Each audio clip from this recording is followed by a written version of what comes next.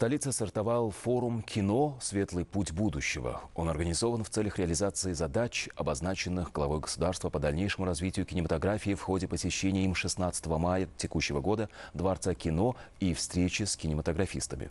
В рамках нынешнего мероприятия участникам представили данные о фильмах, созданных в Новом Узбекистане, а также ознакомились с реализацией проекта под названием «Каждый сериал. Отдельная миссия». Что необходимо для полноценного развития отечественного кинематографа? На какие тенденции стоит обратить особое внимание, чтобы выстроить работу через призму запросов общества на перспективу и с точки зрения качественной подготовки кадров на местах? Эти и многие другие актуальные вопросы поднимались участниками форума.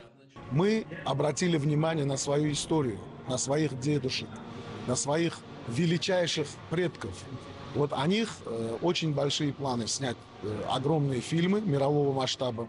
Сегодня Узбекистан работает с Китаем, с Индией, Азербайджан, Белоруссия, Россия, э, Казахстан.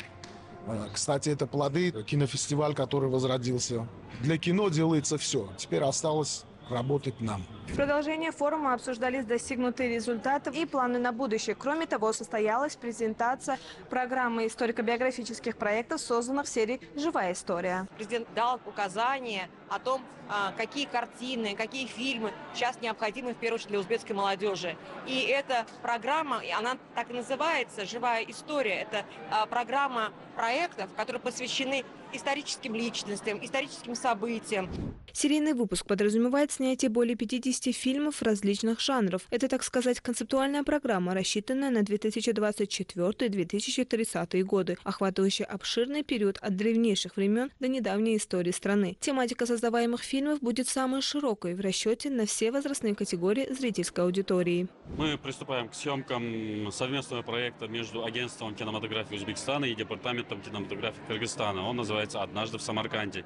Этот фильм о дружбе народов и единой нашей культуры и истории. Мы э, рады видеть э, позитивные изменения в, в узбекском кино, что президент сам лично поддерживает инициативу. Мы пришли на кинофорум обсудить плоды нашего совместного творчества. Такой исторический проект вот-вот запустится.